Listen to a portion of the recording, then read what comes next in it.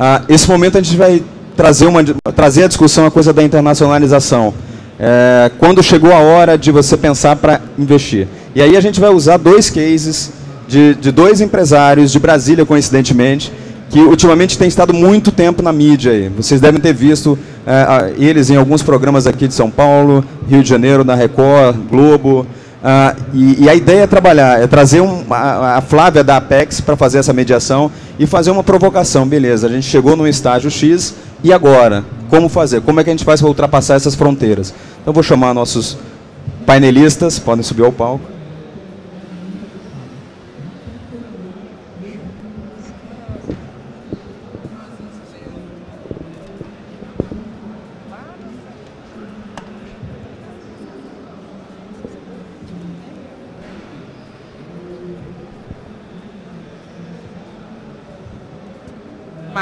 Boa noite. Podemos começar? Então vamos lá.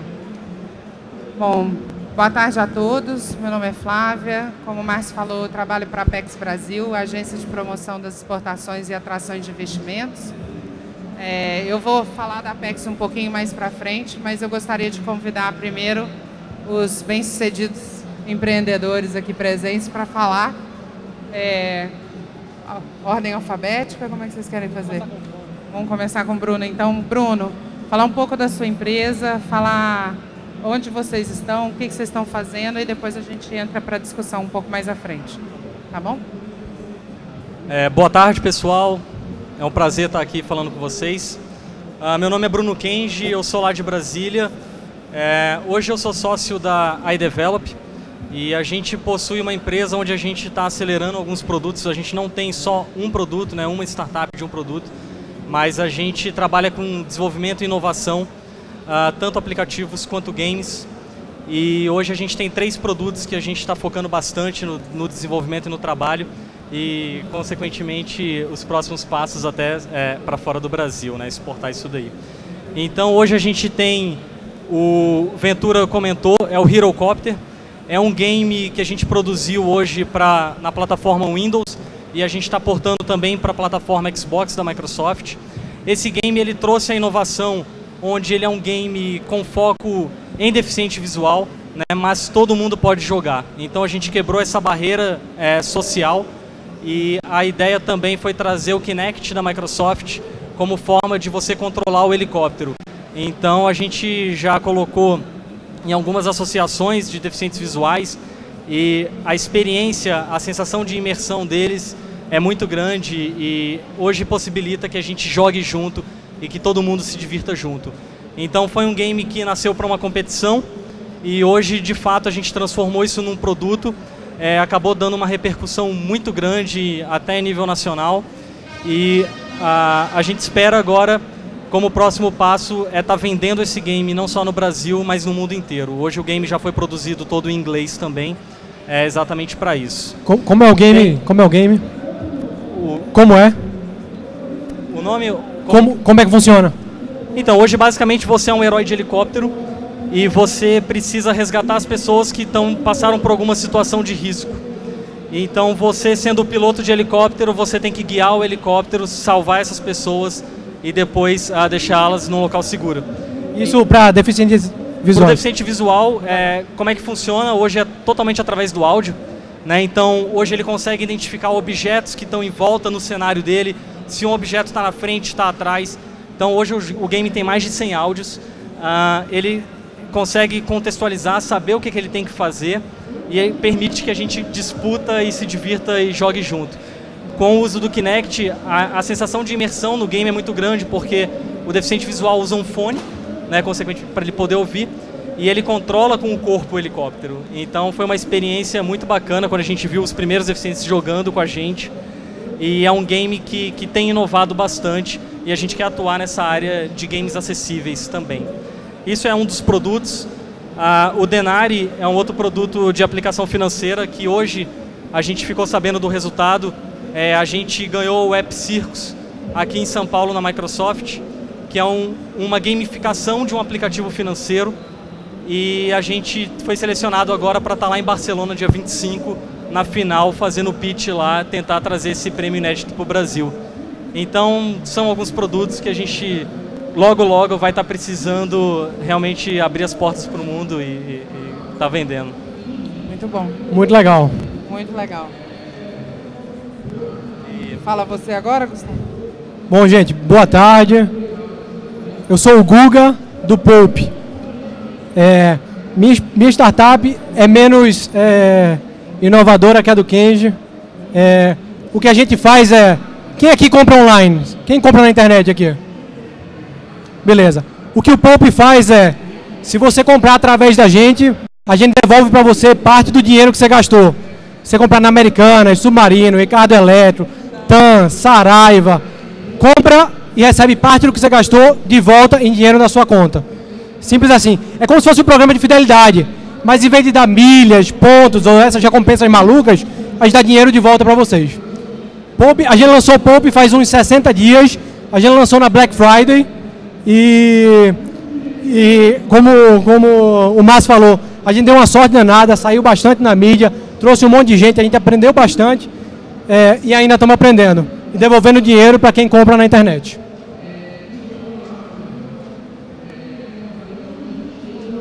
Bom, então agora chegou a minha vez. É, todo mundo compra online. Acho que todo mundo já tinha ouvido falar do, do Daniel e do produto dele, que saiu na mídia principalmente nesses últimos meses bastante, mas eu acho que a maioria das pessoas aqui presentes não conhecem a Apex. Né? Tô certa? Quantas pessoas aqui conhecem a Apex? Quem conhece a Apex, levanta a mão. É. Olha. Eu vou falar só um pouquinho da Apex, evangelizar também, já que vocês evangelizam para startup, eu vou evangelizar para internacionalização. A Apex é a agência irmã do Sebrae. Nós nascemos dentro do Sebrae, é, nos tornamos um spin-off do Sebrae a, em 2003 e desde então temos trabalhado aí é, para apoiar as empresas. Iniciamos apoiando as empresas com as exportações, exportações tradicionais de produtos, passamos a apoiar as empresas para exportação de serviços. É, é, é gratificante a gente escutar as pessoas falando que não sabem que tem mais de 400 empresas em projetos de exportação de serviços no Brasil. A gente tem projeto de exportação de games. A gente tem projeto de exportação de serviços de TI, serviço de software, é, software embarcado. A gente tem uma série de, de, de projetos nesse sentido. Fazemos através das associações e a gente fica feliz, por exemplo, os números de 2012 ainda não estão é, consolidados, mas os números de 2011 já apontavam uma exportação é, do segmento de TIC para o mundo de mais de 2 bi de dólares do Brasil para o resto do mundo. Né? É, eu sei que vocês vão falar assim, ah, mas isso não é para startup. Não necessariamente é para startup, mas não deixa de ser para startup também. Né? A gente viu recentemente um estudo apontando aí ah, as empresas brasileiras mais internacionalizadas e a Stefanini já está em segundo lugar. Ela, já, ela está atrás apenas da JBS. Então você vê que existe lugar no Brasil, sim, hoje para se internacionalizar as empresas é, de serviços ou do segmento de, de TI de maneira geral. É, além disso, é, então falar aí como a, a Apex pode apoiar, além disso, além da promoção da exportação, a gente apoia na internacionalização, né? Ajuda a tentar fazer um soft landing na empresa que está indo para fora. A gente já, até o ano passado, tinha oito centros de negócio no mundo incluindo Miami, Dubai, Moscou, Bruxelas. É, em dezembro nós lançamos mais dois centros de negócio no mundo e vocês vão ver que não é por acaso que um deles está no, no Vale do Silício, o centro de negócio da Apex em São Francisco foi lançado especificamente para apoiar o programa Startup Brasil. E aí eu vou poder falar um pouquinho mais sobre isso. E o Rafael Moreira do Ministério de Ciência e Tecnologia vai falar bastante sobre isso hoje, acho que às 9 horas da noite, quem quiser saber um pouco mais do programa. E também lançamos na Colômbia, né, um centro de negócio na Colômbia, que também pode ser a porta de entrada para várias startups do mercado latino-americano. Quem tiver interesse também de saber um pouco mais. Então, é, a, Apex, de novo, né, embora ela tenha começado nos segmentos tradicionais da economia, ela já se diversificou, ela trabalha com a capacitação, com a estratégia, com o soft landing das empresas. E agora vamos apoiar, já estamos apoiando o programa Startup Brasil, justamente para apoiar as empresas é, startups que queiram se internacionalizar. A nossa ideia, inclusive, é que elas já nasçam globalizadas. E por isso a gente também faz para as startups já a capacitação para e vai ajudar a fazer isso é a capacitação para a captação de recursos, tá? Para falar com os investidores que estão no Vale do Silício, isso também a gente vai fazer. Não é uma coisa que é feita de maneira genérica a qualquer momento. A gente vai fazer através de missões, programas, a, através de demos days, roadshows. Muito disso ainda vai estar muito focado para apoiar o programa Startup Brasil, mas depois disso a gente vai começar a abrir também para as empresas que não estão no programa, ajudando aí a construir o ecossistema no Brasil. Então, espero ter falado um pouquinho da Apex. Quem tiver dúvida, eu estou à disposição. E aí eu jogo para os meninos a segunda pergunta, que é, é quando vocês pensam na, na internacionalização, e eu falo em internacionalização, que é não só estar presente, mas ter capital estrangeiro, de certa forma, também é se internacionalizar. Eu falo o que, que vocês pensam, como vocês pensam, e que, que peso tem né, isso para vocês hoje no negócio de vocês? Então, hoje são no mundo 280 milhões de deficientes visuais, onde 30 milhões são completamente cegos. Então, é, é um público que a gente quer atingir, não só no Brasil, mas realmente no mundo inteiro a, a, com game. Né? Então, o Brasil era um dos poucos países que era necessário, recentemente mudou, que era necessário classificação indicatória né, de game. Uh, não era fácil publicar game no Brasil. A gente tinha até problemas para publicar lá fora, seja na Apple Store, seja numa Microsoft ou qualquer outro lugar. Mas isso tem mudado, tem facilitado e, e, e de fato a gente enxerga que é um produto que tem que facilmente já ser exportado e está rodando no mundo inteiro.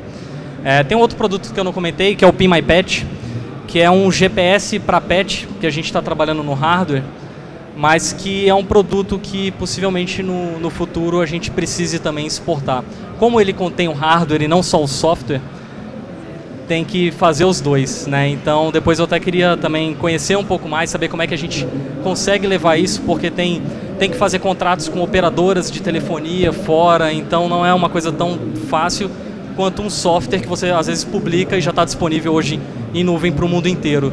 Mas uh, hoje, de fato, com o próprio game, a gente espera estar tá lançando ele a um custo menos de 10 reais, mas lançar ele para o mundo inteiro dá possibilidades que o mundo inteiro jogue e a gente se torne o principal player no mundo de games acessíveis. Esse é um ponto que a gente quer. Bom, é, quem teve aqui na palestra das aceleradoras ontem? Eu lembro que o pessoal falou ontem que sonhar pequeno, sonhar grande dava o mesmo trabalho, né? Então o pessoal, pô, sonha grande logo, você vai dominar o mundo. E aí o Yuri veio e falou assim, não, tudo bem, vamos sonhar grande, mas vamos ter um plano para dominar o bairro primeiro. E eu acho que startup é isso, a gente tem que nascer, pô, mais e-commerce. Se eu estou lidando com e-commerce, para escalar, você não pode pensar numa geografia. Então, claro, a gente está pensando em sair do Brasil, mas o plano no começo é, vamos, vamos dominar um pouco nossa, é, nosso bairro. E a ideia é, depois que dominar o Brasil, sair para América Latina. O Brasil hoje é metade do e-commerce da América Latina. Que pegar aqui o Brasil, e-commerce do Brasil hoje são 18 bilhões de dólares com viagens, e a América Latina é o dobro disso. Então não dá para pensar só no Brasil. Então eu vou, eu vou devolver a pergunta, Flavinha. Então, digamos que é uma empresa pequena ainda, quero sair do Brasil, quero começar a entrar nos países da América Latina. A Apex tem estrutura e consegue ajudar a gente nisso? E como ela consegue ajudar a gente nisso? Ela consegue ajudar, ela consegue, opa, ela consegue ajudar, ela consegue ajudar pontualmente e ela consegue ajudar na sua estratégia. A gente tem a área de internacionalização, que desenha com você um plano de negócio, num modelo de consultivo né, para o seu negócio, e depois ela te encaixa dentro dos nossos projetos setoriais integrados para atingir os países que você quer chegar. Tem custo? Tem, é subsidiado, ele tem um pequeno custo para o empreendedor, mas isso é mais simbólico do que um custo grande que vai ser impeditivo para a sua exportação. Legal. Agora, eu fico muito feliz de ouvir vocês dois falando que tem intenção de exportar, porque hoje o grande impeditivo da exportação do serviço no Brasil é porque o empresário brasileiro está muito preocupado em ocupar só o mercado doméstico. Ele não tem, ele não tem essa visibilidade, né? Então, eu, eu pergunto se é só isso, se, se são. É, é, quais seriam. O que, que vocês acham que uma startup teria que ter desde o começo para ela, ela realmente exportar? Né? Além de, dos serviços da Apex que a Apex tem que oferecer, tem que viabilizar, o que, que vocês acham que o empresário tem que ter? A, por que, que ele tem que se motivar a exportar? Eu tenho as minhas opiniões, vou escutar de vocês e depois eu, eu volto. Quer que eu. Eu, eu, eu sou bem, bem da teoria de Lean Startup. Você tem que começar aos poucos e vai, vai testando, e aí dá mais um passo, e aí testa, errou, dá dois passos para trás, e dá outro passo, e vai devagarzinho assim. Várias startups dão 10 passos e quebram. Então não adiantava nem ter pensado em sair do Brasil, que eu não consegui nem sair do meu bairro ainda, nem, nem da minha cidade ainda, quanto mais para o Brasil. É, eu acho que tem que ter na cabeça, sim, que um dia eu quero chegar lá, é, mas a verdade é que várias delas não chegam nem no Brasil. Então eu não sei se é porque ninguém está sonhando alto em sair do Brasil, ou se ainda estão num processo de maturação das startups chegarem no Brasil, saírem das suas cidades, das suas regiões para o Brasil. É, não sei, eu não acho que o pessoal está pensando pequeno, não. É, o pessoal das aceleradoras que eu tenho visto, que eu tenho ajudado na mentoria, acho que está todo mundo pensando grande. Mas é um processo novo. É, é, é, é aquilo que a gente estava conversando, qual é a diferença de uma startup para uma empresa pequena de TI? A empresa pequena de TI ela vai abrir para executar um plano, já sabe o que tem que fazer. Uma startup ela vai abrir procurando o um modelo de negócio. E nessa busca do modelo de negócio, vezes você não acha, vezes você acha errado, vezes você tem que pivotar. Então, tem alguns passos antes de abrir dizendo, vou abrir já dominando o mundo. Essa tem uma chance enorme de já dançar de cara. Perguntando para os empreendedores, né? Vocês no caso, vocês acham que o plano de internacionalização, se ele existir, é, num segundo momento, ele ajuda inclusive a trazer um, um fundo de investimentos para interessar pelo produto de vocês? Ou você acha que o mercado doméstico é o suficiente?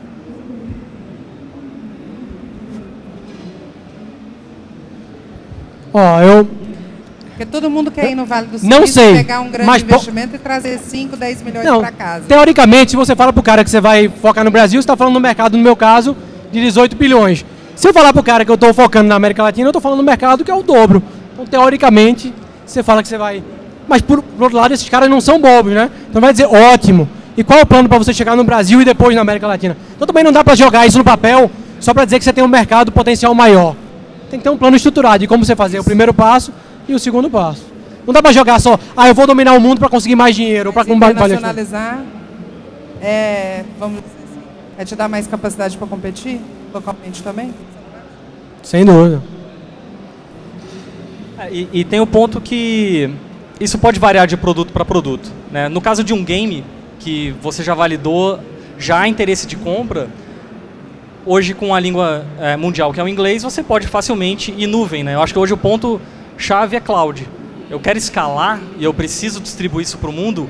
Hoje, da minha casa, num final de semana, eu posso fazer um software e vender para o mundo inteiro. Então, hoje, sem dúvida nenhuma, há 15 anos atrás, isso não era tão fácil. Você precisava de um investimento inicial muito grande para você levantar servidor, para você levantar link redundante, etc. Hoje não. Hoje a gente tem cloud. Rapidamente, a gente levanta um serviço para o mundo inteiro a gente consegue ser escalável ao ponto de não cair, não ficar indisponível e pagar pelo que a gente está consumindo, né? um modelo self-service. Então hoje possibilita que realmente a gente possa vender para o mundo inteiro sem muitas barreiras. E, e o legal de apps de, de, software, né? Fica fácil para. O legal de apps também é que tem um canal que, que serve o mundo inteiro, né? Exatamente. Se você chegou nesse canal, já abre para o mundo fica, todo. Fica fácil. Mas, mas a, a, gente mesmo tá com, teve uma dificuldade com hardware que, por exemplo, a, a, tem um concorrente nosso nos Estados Unidos que eles têm um hardware muito, muito bom. Levaram alguns anos de pesquisa da Qualcomm, né, que comprou, só que lá a tecnologia é completamente diferente daqui. Então tem esses pontos, tem esses desafios. Né? Não adiantava eu pegar, querer estudar um hardware, ou simular um hardware lá que não ia funcionar aqui. Ou daqui a gente construir e tentar rodar lá. No caso de software isso é muito mais fácil. Né? A gente aplica interna internacionalização de língua, e facilmente você escala esse software para o mundo inteiro. Então acho que depende do, do, software, depende do caso. Se você precisa validar ou se já está validado. Legal. Né? Então, Por isso que os seus games já vieram em inglês, Daniel? É, o game a gente já fez em inglês pensando já nisso, vender barato e vender para o mundo inteiro, né? sem barreira.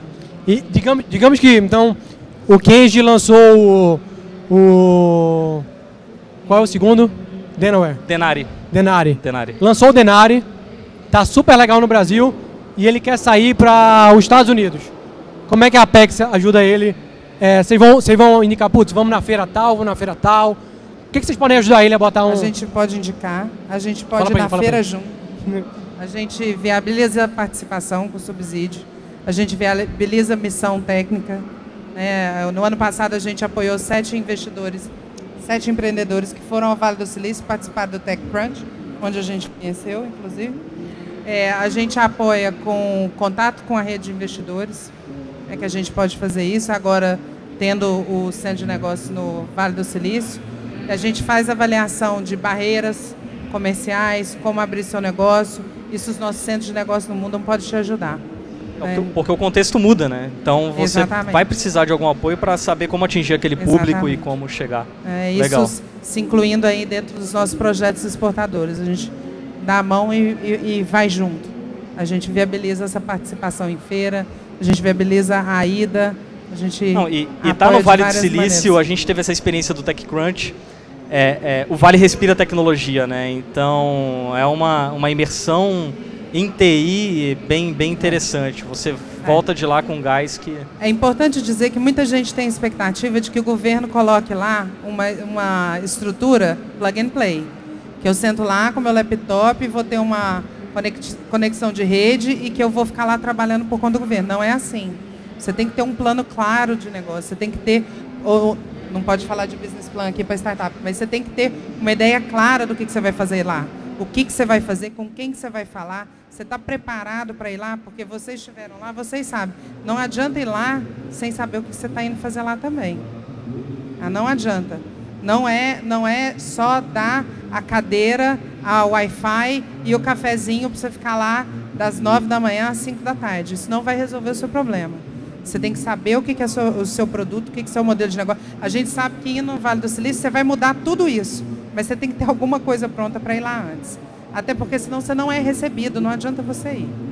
E, e lá o pessoal é muito direto, né? Você também não pode queimar ficha. Então Exatamente. ele te dá cinco minutos. Se não interessar, é, ele já vai embora e você vai perder a oportunidade. Flávia, Por isso é a importância de fazer o planejamento, falar o que, que você quer, com quem você quer falar, se organizar para ir, né? E se capacitar para ir também.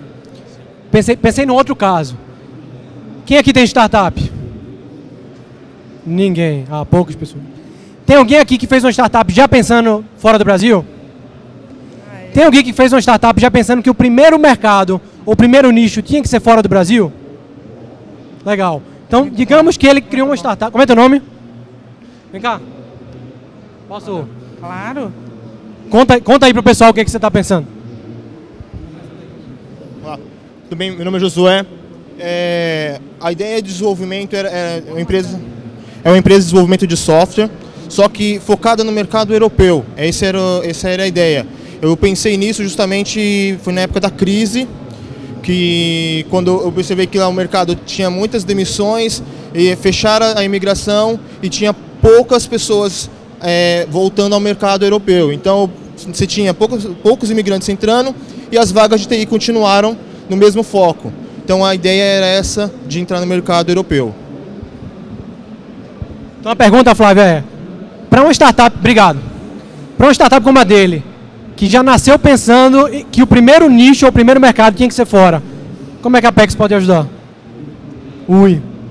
A gente pode te ajudar primeiro entendendo o seu negócio, entendendo o que, que você quer fazer, quem que é o seu público-alvo, te dar dados sobre o mercado, né, fazer um atendimento individualizado, tudo é muito customizado.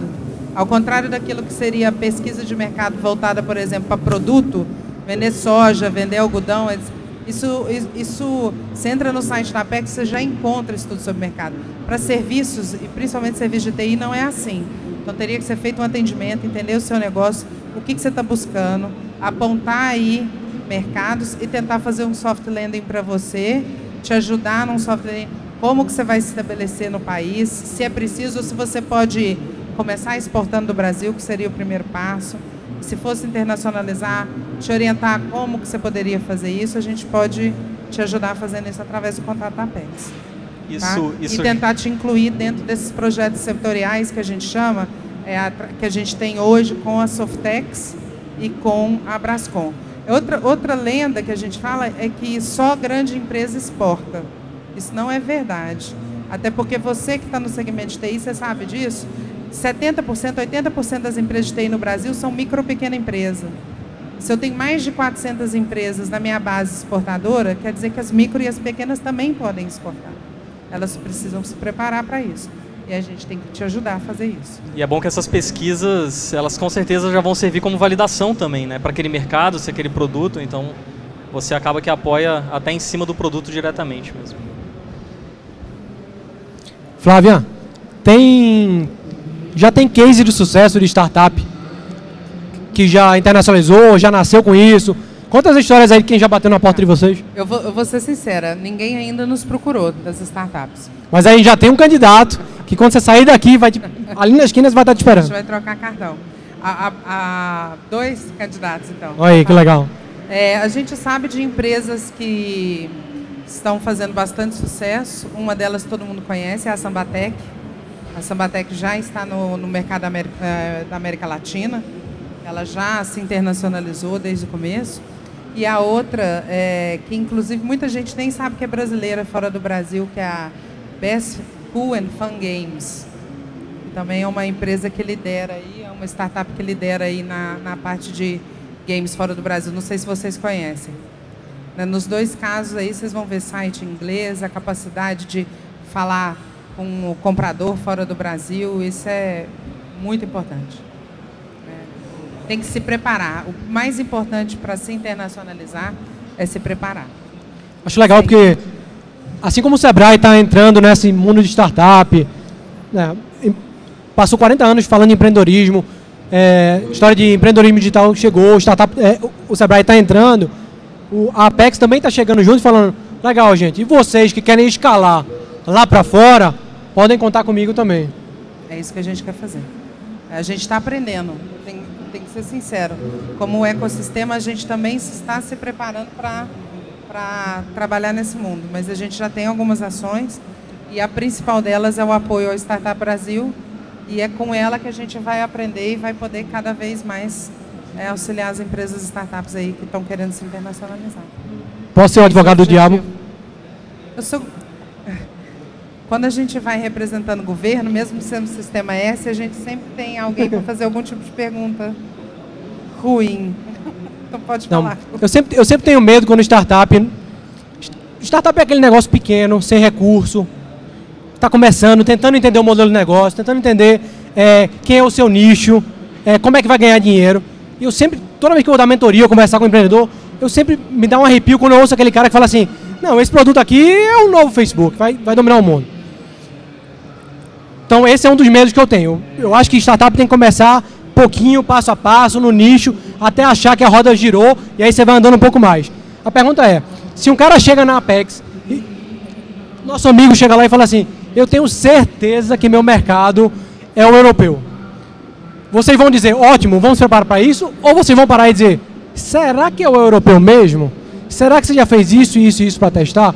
Sim, vocês estão lá para eu trago uma ideia e vou te ajudar? Ou vocês estão lá para também ajudar os empreendedores? Será que esse é o melhor? Acho que o Sebrae está chegando nisso também, né? A pessoa chega lá no Sebrae agora, quero fazer isso. Mas vamos fazer um canvas? Vamos olhar se, se os consumidores alvos são esse mesmo?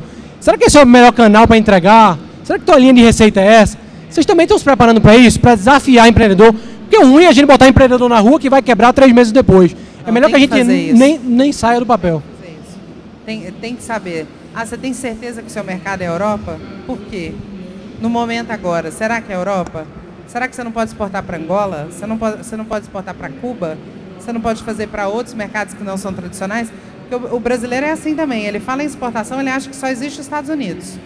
Ah, se não existe os Estados Unidos, existe a Europa. E o resto do mundo? Não exporta para lugar nenhum? Exporta, exporta muito. Né? Então a gente tem centro de negócio em Angola, é, a gente tem centro de negócio em Cuba. Então, a gente para e pensa realmente, precisa pensar. Por isso que a gente fala que o primeiro passo sempre, sempre, internacionalização é a capacitação. É a capacitação. Você tem que se preparar. tem alguém tem alguma pergunta? Gostaria de falar principalmente para eles, não para mim.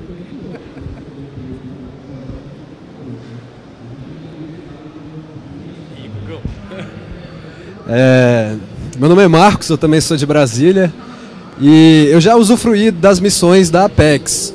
É, a Apex ela, ela ajudou um grupo de empreendedores é, em TV digital, aí em missões. Teve uma missão para a África do Sul, teve uma missão para a Argentina e Uruguai. Só que o que eu senti é que o direcionamento da Apex vem de cima, né? Vem da nossa presidenta, ou do, no caso, no passado, do presidente. Que no caso, naquela ocasião, é, a bandeira era a TV digital, era a gente conseguir exportar a TV digital. E acompanhando essas missões da Apex, eu vi que vocês fizeram isso também com games também. A Apex foi um dos patrocinadores nas missões de games. É, como o mundo das startups, ela não é um nicho, startups ela não, não é um nicho, né? É uma nova economia. Então existem vários nichos dentro do, do desse mundo das startups. Eu queria saber se a Apex ela vai tentar direcionar para algum nicho ou vai estar tá ajudando as startups em geral, sem ter esse posicionamento de talvez ah, agora a gente vai investir em startups de turismo porque a Copa está chegando. Eu gostaria de saber isso. Não, não, não necessariamente. Não necessariamente. É, o que a gente entende, por exemplo, feira só funciona se você for vender para um nicho. Então é fácil você ter feira para games, é fácil você ter feira para serviço de TI, é fácil você ter feira para hardware. Você tem feiras. Se isso não se encaixa, você tem que procurar as outras coisas que se encaixam. Então, por exemplo, uma missão, missão prospectiva para falar com um potencial investidor, com fundo de com VCs. Isso é uma atividade que a gente faz. Né? É fazer um plano de reuniões para você visitar algumas potenciais parceiras suas.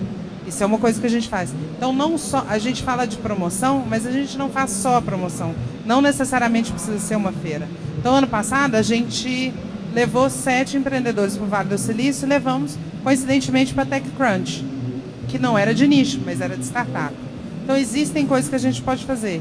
Existe é, é, a possibilidade de. Se vo, mas você tem que ter grupo também. Você não pode ir uma startup para o South by Southwest, você não vai conseguir nada.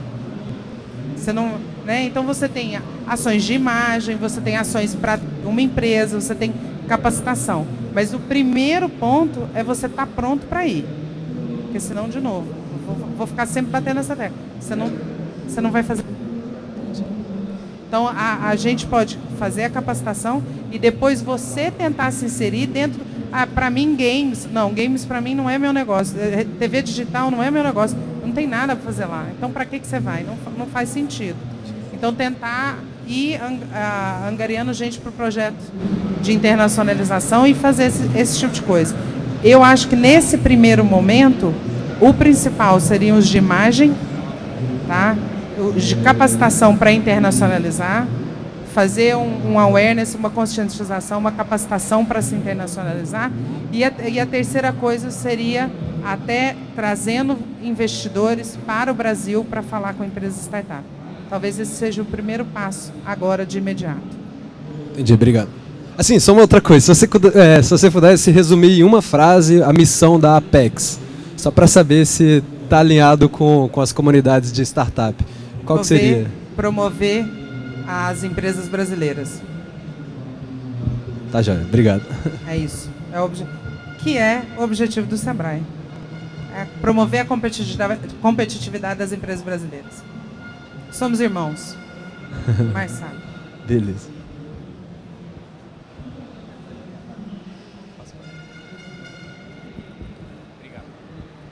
Alô.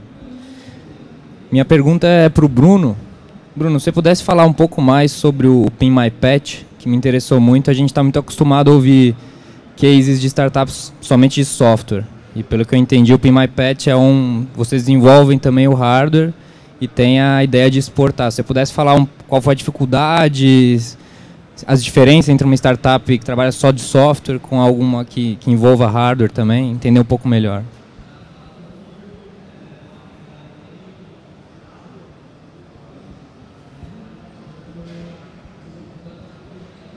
Alô. O, o PMyPet, ele ele nasceu numa, numa brincadeira de app, do App Circus, do ano retrasado, que era o Car Locator que eu tinha feito. E aconteceram a, a, na minha família duas perdas de cachorro e foi quando eu resolvi pivotar a ideia e fazer realmente o Pin My Pet. Pesquisando, pesquisando, descobri que nos Estados Unidos já tinha uma grande empresa com um bom produto, realmente. Uh, essa empresa foi comprada até pela Qualcomm, mas uh, a gente começou a esbarrar nessa questão do hardware. Né? Então, fazer software para a gente era uma coisa natural, Uh, alguns meses de desenvolvimento, tinha um MVP, validava, validava, validava e colocava no mercado e validava e fazia todo o processo. Uh, e com hardware começou a complicar um pouco, tanto questão de especificação, questão de custo e realmente que ele funcionasse. Então fazer um hardware para um pet não é uma coisa tão fácil, contendo GPS, contendo outros componentes, uma vez que o cachorro pode se perder, pode se molhar, pode cair numa água, pode estar do lado de um muro que você não vai ter o sinal e você não vai conseguir localizar ele. Então tem uma série de barreiras que a gente está tentando quebrar ainda para ter um hardware no Brasil que seja viável, seja barato. É, a gente está limitando o nosso custo de venda em até 140 reais e, e que funcione de fato que seja pequeno. Né? Não adianta também ter um hardware do tamanho da minha mão que com certeza não vai estar adequado ou vai chamar muita atenção, alguém vai tentar ver. E, e, e tem essa dificuldade. A, a gente conseguiu o edital de inovação do Senai, lá em Brasília, onde a gente conseguiu 350 mil e a gente acabou investindo todo esse dinheiro em hardware. Então, desde protótipos, especificações e assim por diante. Então, a nossa meta agora é ter uma boa especificação de um produto funcional para que a gente possa produzir em qualquer lugar do mundo, seja no Brasil, seja nos Estados Unidos ou seja na China. Enquanto isso, a gente está correndo com o software e a ideia do produto agora é colocar um QR Code de graça para o Brasil inteiro já daqui a duas semanas. Então a gente já deve estar tá lançando. E com esse serviço, então seria um, um, uma forma já de, se ele se perder, você já conseguir localizar com qualquer dispositivo ou de celular que leia QR Code. E, mas a ideia de fato é ter o ativo ali, é ter o GPS com, com, com cerca eletrônica, com algumas outras features aí. Mas não foi fácil. Hoje software, é o que eu falo, software Uh, qualquer um hoje com cloud tem a capacidade de estar tá em casa desenvolvendo alguma coisa, validando uma ideia, tendo certeza e colocar no ar. Então, uh, uh, eu mesmo, esses, a maioria desses produtos já começava a desenvolver antes mesmo de eu ter a empresa, né, que eu sou sócio hoje. Então é isso, acho que é realmente validar, colocar, testar e, e, e ter um bom produto. Né? Mas mexer com hardware foi, foi e está sendo um grande desafio para a gente porque não basta só estar no computador desenvolvendo e colocar em cloud e pronto. Já está funcionando para todo mundo. Então tem, tem estudo, tem custo. Obrigado. Hoje, uh, o hardware, a gente tem protótipo já feito com as peças aqui, mas não chegou no ideal ainda. Então, a gente quer ter a, a especificação do que, que a gente quer e a partir dessa especificação possa ser fabricado em qualquer lugar do mundo. É, uh, vamos lá. Respondido, acho que, beleza? Não ajuda a importar. Só exportar. Importar não. Inclusive a gente faz cara feia para quem Mais alguma pergunta?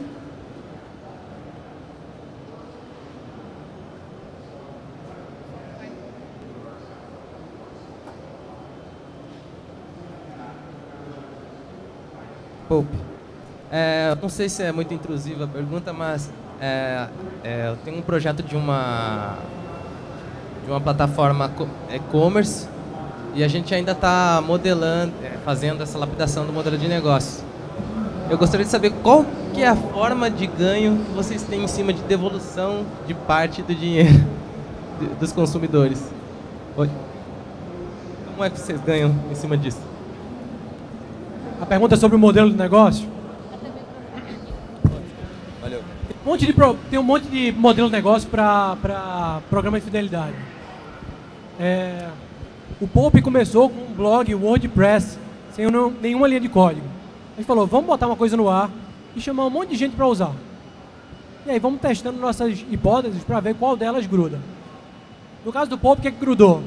Se eu levar você para Americanas, algum dos, dos sites de e-commerce, para fazer uma compra lá, eles me pagam um percentual, chama marketing de afiliados. Eu fico com uma parte disso e devolvo uma parte para você. E aí todo mundo ganha. A loja de e-commerce ganhou um tráfego para ela, ela só me paga se você comprar. Você fica feliz que você comprou na hora que você queria, na loja que você queria, e ainda recebeu parte de volta. E a gente fica com um pouquinho desse dinheiro para pagar o leite das crianças. E aí todo mundo ganha. Respondi?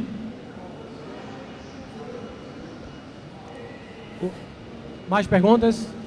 O que me, eu acho que o que me impressionou do Pope é essa diferença no modelo de negócio. Assim, o Google conseguiu inovar muito nesse modelo, porque se for ver quando eu usava, quando eu tinha um, quando eu navegava, tinha blog, isso em 2000, os blogs querendo não tinham esse modelo, né? E só que conseguiu transformar isso num negócio realmente muito bom e muito simples de uma certa forma, né? Então, eu, eu, eu sempre falo que eu gosto do Pope porque todo mundo ganha, né? Não, não tem nenhuma parte que está perdendo. Todo mundo está saindo feliz da história. E aí eu acho que isso é um modelo que, que escala. Todo mundo fica feliz, todo mundo quer usar mais, todo mundo fica feliz, todo mundo quer usar mais. Com certeza.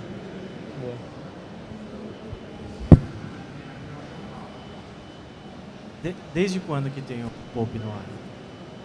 Desde quando que tem o Pope? Só rapidinho, só para eu continuar. A gente, a gente botou o blog no ar. Era um WordPress mesmo, sem nada é, em março e a gente chamou 20 pessoas para comprar. Virei para 20 amigos e falei assim, pô, vocês querem comprar e ganhar dinheiro de volta? Você falou, pô, Guga, que isso? Você sempre foi tão certinho, que história é essa? Não, é sério. Me avisa se você quiser. Chamei essas pessoas. Fui falar com as lojas. Vocês querem ganhar tráfego de graça? Tentei entrar no programa de afiliado deles. E entrei. E a gente foi testando. Eu falei para meus amigos, compra e me manda o comprovante, que eu vou saber. E aí foi entrando gente, comprando e comprando. Esses amigos começaram a dizer, Guga, posso chamar minha prima que coma muito? Vou chamar o cara que trabalha comigo. E aí eles foram dizendo assim, vamos botar essa loja? Vamos botar essa loja? Bom, quando deu, 40, quando deu quatro meses com só esse pessoal, a gente já tinha vendido 60 mil reais. Gente falou, não, tá bom, tá na hora de sair de uma plataforma, tá validado, agora vamos construir. E aí passamos alguns meses construindo e abrimos, abrimos no final de novembro, de 3 de novembro, então faz 60 dias. Só de curiosidade, porque essa ideia surgiu no Startup Machine, não sei se você participou, primeiro Lean Startup Machine de São Paulo, teve essa ideia, era, o nome era Economize Comprando. Aí eu achei que você estava lá, alguma coisa assim. Mas só uma curiosidade, é, como é que você devolve o dinheiro? Porque eu tentei, é, pensei numa outra startup, mas não tem nada a ver com, com o Pouco. É, a minha dificuldade foi tentar acreditar um dinheiro, por exemplo, no cartão de crédito da pessoa. Pelo que eu vi, se consegue se tornar uma compra, mas tentar acreditar dinheiro na, na conta é difícil. Então, qual que é o modelo hoje? Eu só consegui pelo PayPal. Não sei se é o, o que você usa hoje. PayPal funciona.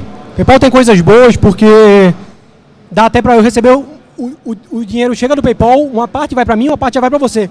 Eu nem pegaria no seu dinheiro. O que teoricamente, fiscalmente é bom, porque teoricamente eu não pago imposto sobre o dinheiro que ia entrar e sair. PayPal é uma. A gente está fazendo também depósito na conta do banco. Então a gente tem conta em vários bancos. Se você tiver nesse banco também, depósito de conta para conta no mesmo banco não paga nada. Então para mim é legal fazer o dinheiro. E o terceiro, eu acho que o Pago Seguro também tem. É, mas não tenho certeza. Então tem essas três formas. Mas hoje você usa depósito em conta? Depósito em conta e PayPal. Então, mas isso é manual então? É, não, tem ferramenta de mass payment para os dois. Ah, existe isso. Pode começar depois, te mostro. Ah, beleza, tá bom.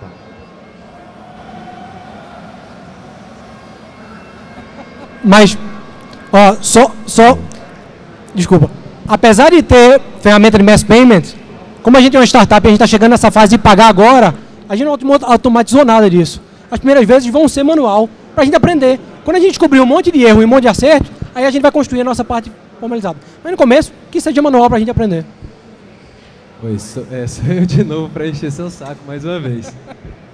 Esse ano, vamos para o TechCrunch de novo? Não sei. Como assim, não sabe? ah, o que vai acontecer agora, todo mundo sabe, né? Vai lançar o edital para as startups se inscreverem é, em meados de abril para o programa Startup Brasil.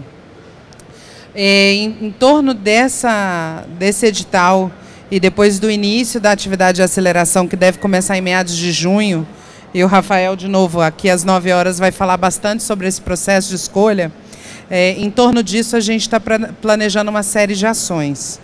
Uma missão para o Vale do Silício no, no segundo semestre não está descartada. Não necessariamente seria ancorada no TechCrunch. Tá? Porque a gente está avaliando, inclusive, qual seria o melhor evento para a startup brasileira. No ano passado, eu, e aqui tem duas pessoas que estavam lá, eu, eu pessoalmente não avaliei o evento como ideal. Não sei se eles concordam comigo. Ele não teve, eu não vi grandes ganhos, pelo menos das empresas que eu acompanhei. Tá? Então a gente tem que avaliar uma participação, sim ou não, e em que modelo. Porque a simples ida ao Vale do Silício com uma agenda de negócios, às vezes ela é mais proveitosa do que só a ida ao TechCrunch. Não sei se vocês concordam. Ah, com relação ao TechCrunch, acho que o, o, pavilhão brasileiro né, não foi muito privilegiado lá desse último ano, né, tanto que a, a gente via que era o pavilhão mais vazio que tinha. Uh, mas sem dúvida nenhuma o que agregou muito foi a semana seguinte que a gente estava lá com o próprio Felipe fazendo essa agenda de negócio, visitando os lugares. Mas, é, é, como eu disse, né, o Vale respira tecnologia, você está lá, Isso. você abre, abre, abre a rede muito, né, muito fácil. Então, uma, uma missão para o Vale é, com algum tipo de parceiro está sendo avaliado para o segundo semestre, sem dúvida. É, tá, mas isso para as startups que vão entrar pelo programa do Startup Brasil? Não, não, não? para outras startups que poderiam participar de um processo seletivo para estar lá. Tá? E a, a, uma outra possibilidade é porque o South by Southwest, que é bem maior que o TechCrunch, bem mais reconhecido, esse ano não, não tem condição de participar mais, porque ele é em março. Né? Então, nós estamos avaliando a participação no próximo ano. E em que modelo. Tá? Então, e depois... E depois a gente vai poder falar um pouco mais sobre a agenda, mas esse ano de 2013 ela ainda vai estar muito associada ao programa Startup Brasil. Fala um pouquinho do programa aí pra gente, Startup Brasil. Eu não posso tirar a graça. O Rafael vem aqui falar só sobre o programa. Né? Eu não sei, todos vocês já, ouvi, já ouviram falar alguma coisa sobre o programa? Quem conhece o programa, levanta a mão. Alguém tem intenção de se inscrever, inscrever a própria startup no programa? Pouca gente conhece. Ó. É. Vocês não conhecem o programa Startup Brasil ainda? Não? Ah, o programa Startup Brasil foi lançado em 29 de novembro do ano passado. É, o ciclo de escolha das aceleradoras ele se conclui amanhã, no dia 31.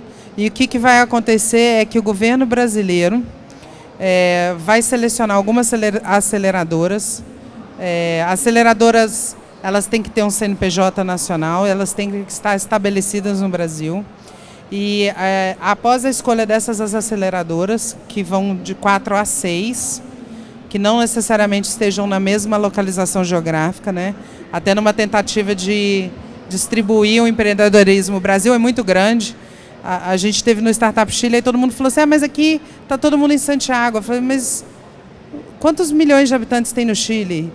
E quantos por cento estão em Santiago? Não, não é a mesma coisa para o Brasil. Né? Então, é, a ideia é que se tenha aceleradoras em diferentes partes do Brasil e que abram-se aí um processo seletivo em meados de abril de 40 a 60 startups que vão receber um aporte do governo de até 200 mil reais. Esse dinheiro não reembolsável, ele não precisa devolver para o governo, ele vai receber esse dinheiro no CPF dele como empreendedor, tá? E ele vai ser alocado dentro de uma aceleradora para passar por um processo de aceleração que pode ser de 6 até a 12 meses. Tá bom? E a aceleradora, ela entra sim é, como equity, o governo não tem equity nas empresas, o dinheiro não é reembolsável. É, a aceleradora entra com um pouco de equity como contrapartida pelo serviço que ela vai prestar. Quais são esses serviços? Toda a parte de mentoria, coaching, o espaço de trabalho. Então, vocês teriam que se mudar para a cidade onde estivesse a aceleradora. É, e toda a rede de investidores e a capacitação para ir para uma rodada com investidores.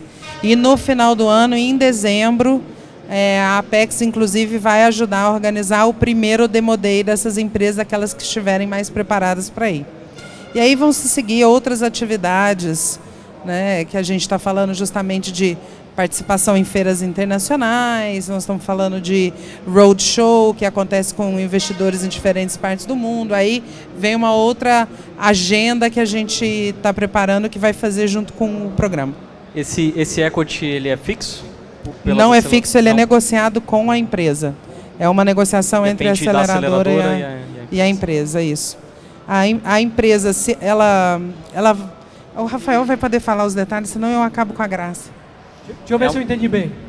O governo brasileiro quer ajudar as startups e vai botar uma grana nesse setor. As, as aceleradoras de TI só. Por enquanto são só as aceleradoras, as, as startups de software e serviços de TI.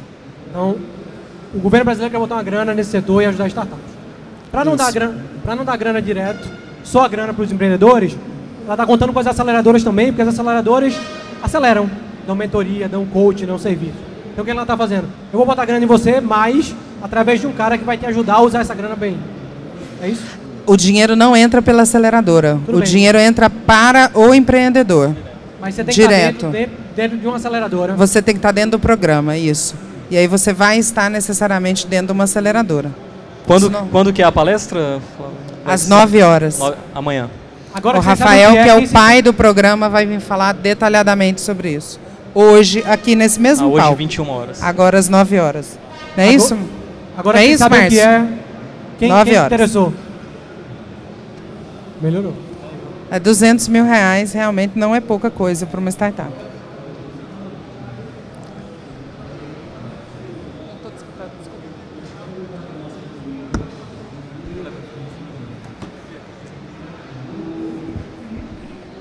Eu ia fazer mais algumas perguntas, mas eu pergunto à noite. Pergunta para o Rafael que ele pode falar. Ele tem autorização e autoridade para falar. É 8 e meia a palestra do Rafael. 8 e meia. Daqui a duas horas. Tá bom? É um programa bem diferente do programa do Chile, antes que vocês façam muitas comparações. Ele é bem diferente e o foco é gerar um ecossistema também de empreendedorismo, mas é, gerar inovação no país, criar novas empresas. Mais perguntas? Pro Flávia, pro Kenji.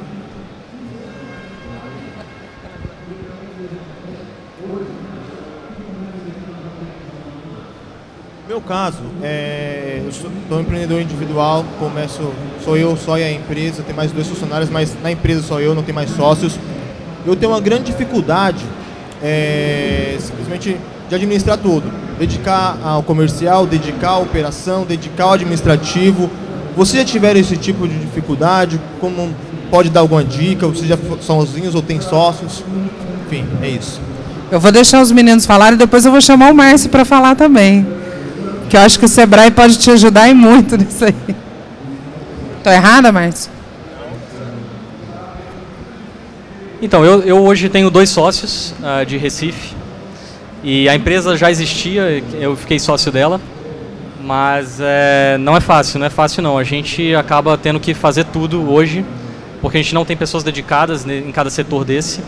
Mas é algo que já está doendo na gente e é algo que a gente já tem que começar a ver, inclusive é, lá no Sebrae de Brasília, a gente está em contato para a gente não perder tempo com isso de uma certa forma. A gente está focado realmente no negócio, entregar ali e fazer girar ali, mas ah, ah, é importante, é importante, senão você perde o controle, ah, não consegue muitas vezes ter nenhum foco ali, não vai conseguir ter um foco direcionado, né, porque você vai ter tanta coisa para fazer. E, e- e é uma dor que hoje, depois de um ano, para a gente já está começando a doer bastante. Você perguntar para investidores hoje qual é a primeira coisa que eles olham, é, a maioria deles fala que antes da ideia ou do mercado é o time. Se aquele time é bom e tem as capacidades, as capabilities, tudo que você precisa para botar aquele, aquele negócio no ar. Existem, existem é, casos de caras que viraram sozinhos, sim. Essa lenda que o cara do Dropbox, quando ele entrou na aceleradora lá no Ecomineiro, ele era sozinho, depois ele montou o time. Mas, é- mas como você está dizendo, é super difícil um cara fazer tudo é, bem feito. E o Procura um Sebrae time, pode te procura uma ajudar. galera para te ajudar, que tem as capacidades que você não tem, que complemente com você e bote a coisa para frente. Acho que é um pouco disso que eles falaram, enquanto o Sebrae, o Sebrae tem uma expertise para te ajudar. Acho que enquanto empreendedor individual tem um monte de soluções, tem soluções online, inclusive, tem o SEI, tem uma soluções, soluções via SMS, tem vários tipos de soluções. Acesse o site do Sebrae. O Sebrae está em todos os estados, tem uma capilaridade enorme, ou seja, procure o Sebrae. E, e, eu acho que o mais importante disso tudo, eu acho que o grande protagonista disso tudo não é Sebrae, não é Apex, não é, são os empreendedores. Então faça acontecer como os dois fizeram e, e, continuam fazendo, né? Empreender é uma coisa diária, é uma coisa de a cada dia você tem uma coisa nova na sua nessa batalha árdua de, de empreender. Obrigado. Mais alguma pergunta? Não? Meninos, muito obrigada, obrigada Márcio pela oportunidade da gente evangelizar aqui juntos. Tá? Eu estou à disposição, vou ficar aqui hoje, vou ficar aqui amanhã, estou à disposição quem quiser conversar mais sobre a Apex, sobre o serviço da Apex e também é, quiser saber um pouquinho mais sobre o programa Startup Brasil, depois da palestra do Rafael, quem não conseguir falar com ele, eu também vou estar aqui à disposição nos próximos dois dias. Tá bom? Obrigada, gente. Boa tarde. Obrigado. Valeu.